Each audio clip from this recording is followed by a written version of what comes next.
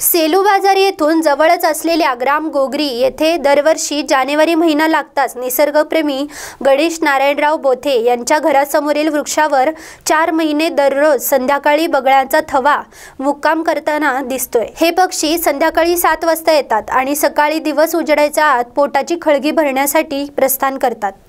किलबिल करणारा पक्ष्यांचा थवा गावात कुतूहलाचा विषय बनलाय. त्यामुळे निसर्गप्रेमींमध्ये उत्साह दिसून येतोय. नागेश अवचार झुमो न्यूज वाशिम.